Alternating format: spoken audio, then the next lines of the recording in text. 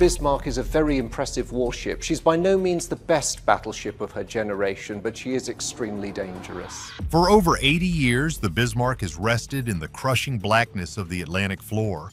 It was a symbol of immense power, brought down in a legendary chase.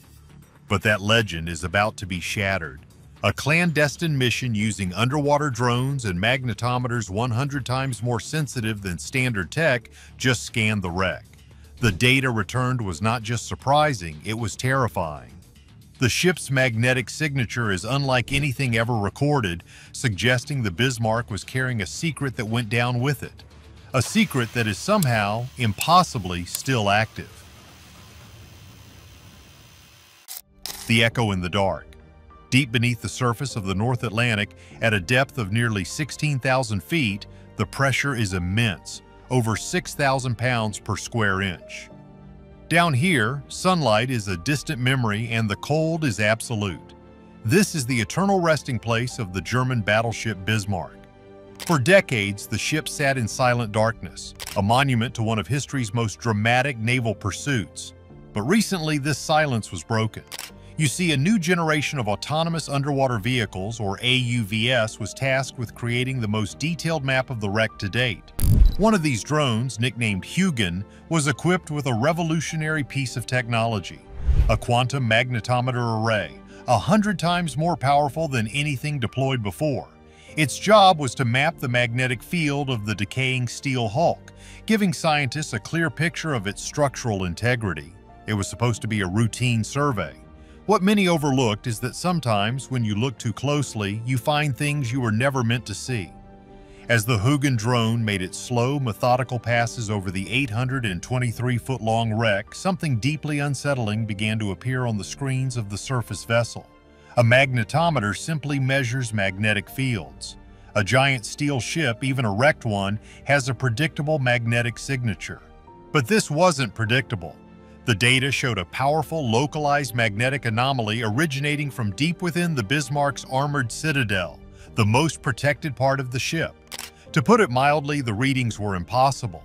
The field was not only incredibly strong, but it was also pulsing with a slow, rhythmic regularity. It was like a heartbeat. The team recalibrated their instruments thinking it was a malfunction. They sent the drone back down. The results were the same. The most shocking fact is the signature didn't match any known alloy or electrical source from that era. It was alien. Naval analysts brought in to review the data were baffled, then deeply concerned. The energy signature was more characteristic of a modern experimental reactor than a World War II battleship. It raised a terrifying question. What was the Bismarck really carrying? The ship's construction was already legendary, but this data suggested something far beyond simple Teutonic engineering. It hinted that the pride of the German Navy was more than just a ship. It was a container for something else entirely. The data was immediately classified and the mission logs were sealed. The Navy wasn't just looking at history, they were looking at a potential threat that had been dormant for nearly a century. The ship's armor was known to be over a foot thick in places made of special Wotan steel designed to defeat any shell. But this magnetic field wasn't coming from the armor itself. It was emanating from a section near the ship's keel that housed the boiler and engine rooms, yet the signature was inconsistent with steam turbines. The rhythmic pulse, once every 82 seconds, was so precise it couldn't be a natural phenomenon. It was artificial. It was a machine. A machine that was against all logic, still operating after 80 years in the abyss. This discovery changed the Bismarck from a historical wreck into an active mystery, one that terrified officials who now had to consider what would happen if that strange energy source ever became unstable. The official story of a mighty ship sunk in battle was now just a cover for a much darker secret. But the ship held another secret, this one hiding in plain sight. To understand the gravity of the drone's discovery, one must first understand the Bismarck itself. This was not just a ship, it was a statement. When it was launched in 1939, it was the heaviest and most powerful warship ever built by any European power. Displacing more than 50,000 tons when fully loaded, it was a floating fortress of steel and firepower stretching longer than two and a half football fields. Its very existence was a direct challenge to the naval supremacy of the British Royal Navy. The thing nobody tells you is just how advanced it truly was for its time. The Bismarck was protected by a belt of steel armor that was over 12 inches thick, designed to make it virtually immune to enemy fire. Its main armament consisted of eight massive 15-inch guns housed in four enormous turrets. These guns could hurl shells weighing nearly 2,000 pounds each over a distance of 23 miles. That's like launching a small car from one side of a city to the other with pinpoint accuracy. The sheer power was staggering, in a test firing, one of its primary guns fired a shell that traveled a staggering 21 miles. And you can see this everywhere in its design, a commitment to survivability.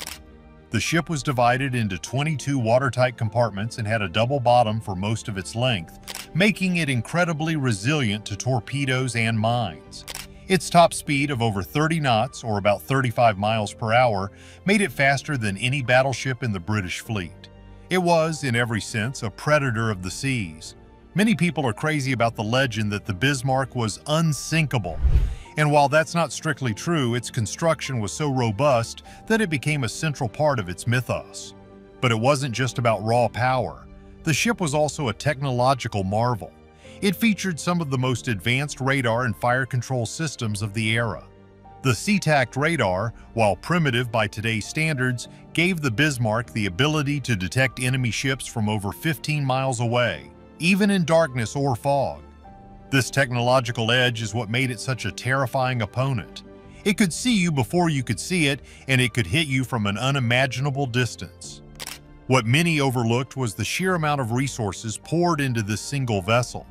The project consumed a massive portion of Germany's steel production and naval budget, all for this one perfect instrument of war.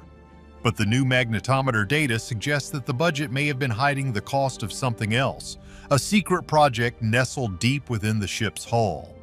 Was this advanced technology the real reason for the mission? The ship's design was so intimidating that it forced the Allies to divert huge resources just to keep tabs on it. Its first and only mission would prove why they were right to be afraid. Eight Days of Glory In May of 1941, the Bismarck slipped out of its port in the Baltic Sea and headed for the open waters of the Atlantic. Codenamed Operation Rheinübung, its mission was simple and brutal, to sever the vital supply convoys that were the lifeline for Great Britain. Accompanied by the heavy cruiser Prinz Eugen, the Bismarck was a wolf heading for the sheep pen. The British Admiralty knew that if the Bismarck reached the convoy lanes, the devastation would be catastrophic. The hunt was on. The most shocking fact is how quickly the Bismarck made its mark. In the Denmark Strait between Greenland and Iceland, it encountered the pride of the Royal Navy, the battlecruiser HMS Hood and the new battleship Prince of Wales. The Hood was a legendary ship, but it was older with weaker deck armor. At a range of over nine miles, the Bismarck opened fire. Just minutes into the engagement, a 15-inch shell from the Bismarck plunged through the hood's thin armor and detonated one of its main ammunition magazines. The resulting explosion was colossal, tearing the hood in half. The ship sank in less than three minutes, taking over 1,400 men with it. Only three survived. The destruction of the hood sent a shockwave of horror through the Allied command. But not all things are what they seem. In the same battle, the Bismarck was hit by the Prince of Wales, causing a fuel leak that would prove to be its fatal flaw. Forced to head for repairs in occupied France, the Bismarck tried to shake its pursuers. For over 30 hours, it vanished into the vastness of the Atlantic, causing panic in London. The Royal Navy, however, was relentless. They threw everything they had into the search, calling in ships from across the ocean. The thing nobody tells you is that the final blow came from one of the most unlikely of sources, a squadron of obsolete biplanes. These were the Fairey Swordfish, slow, fabric-covered planes launched from the aircraft carrier HMS Ark Royal. They looked like relics from a past war. Yet in a desperate last-ditch attack in the middle of a storm, one of their torpedoes struck the Bismarck in its Achilles heel, its rudders. The torpedo jammed the rudders, leaving the mighty battleship unable to steer, turning in helpless circles. It was a one-in-a-million shot that sealed its fate. The Royal Navy's battleships King George V and Rodney closed in for the final engagement. For nearly two hours, they pounded the crippled Bismarck with hundreds of shells. The superstructure was reduced to a blazing ruin, Yet astonishingly, the ship refused to sink. Its armor and internal compartmentalization were just that good. This incredible resilience would later fuel a massive debate. The ship's final moments remain shrouded in mystery. When oceanographer Robert Ballard, the same man who found the Titanic, discovered the wreck of the Bismarck in 1989, he expected to find a ship torn to pieces. Instead, he found the hull remarkably intact, resting upright on the slopes of an extinct underwater volcano. This discovery reignited a fierce debate that continues to this day. Was the Bismarck put on the bottom by British firepower, or did its own crew scuttle it? You see, the British have always maintained that their relentless shelling and torpedoes sank the ship. It was a clear victory, a testament to the power of the Royal Navy. However, the German survivors have always told a different story. They claimed that with the ship crippled and beyond saving, the order was given to open the Seacocks and detonate scuttling charges to ensure the Bismarck would never be captured. They chose to send their own ship to the bottom, an act of defiance to the very end. Ballard's own investigation of the wreck seemed to support the German account. While the superstructure was a mangled wreck from thousands of hits, his underwater robots found that the main armored hull had very few penetrations. The torpedo holes were there, but they weren't enough to explain the rapid sinking. To put it mildly, it looked like the ship had been flooded from the inside out. The pride of the Royal Navy may have destroyed the Bismarck as a fighting vessel, but it seems its crew had the final say on when and how it went to the abyss. For over 80 years, the final moments of the German battleship Bismarck were seen as a story of defiance. Cornered, crippled, and facing the entire British home fleet, her crew made the ultimate choice they scuttled their ship, sending the pride of the Kriegsmarine to the dark, crushing depths of the Atlantic. It was an act of military pride, a refusal to let their prized warship fall into enemy hands. This narrative has been debated by historians and naval experts for decades, a settled ghost of a long overdue war. But now, with new magnetometer data from a deep-sea drone, a third, more terrifying possibility emerges. One that reframes this final act not as pride, but as panicked necessity.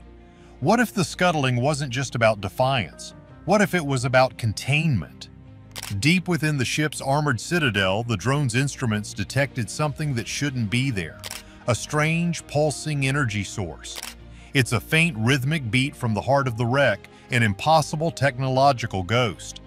This presents a chilling thought. If the crew knew they were carrying something dangerously unstable, a secret weapon or an unearthly artifact that could not be allowed to fall into enemy hands, their final act takes on a whole new, desperate meaning. The scuttling charges weren't just to sink a ship and deny the enemy a trophy, they were a desperate last-ditch effort to ensure a horrifying secret stayed buried under three miles of salt water and suffocating pressure. This is the theory that now has top naval intelligence officials terrified. The public historical debate is a perfect cover for a very real modern-day threat. The pulsing is slow, but it's undeniably there. The energy is contained, for now locked within a decaying steel tomb. But what happens when the corroding 80-year-old wreck finally gives way? What nightmare will be unleashed from the abyss when the cage breaks? We have to ask ourselves if we are missing a key detail about the true purpose of the Bismarck's one and only mission. The thing is, the mystery is no longer about who sank the ship or why. It's about what the ship is actively hiding right now. The data from the drone suggests the final, terrifying chapter of the Bismarck story has yet to be written, and the ending might not be in the history books, but in our headlines. Did the Bismarck's crew scuttle their ship to protect a secret technology far ahead of its time? The pulsing from the wreck continues, a silent warning from the deep. Like and subscribe for more mysteries.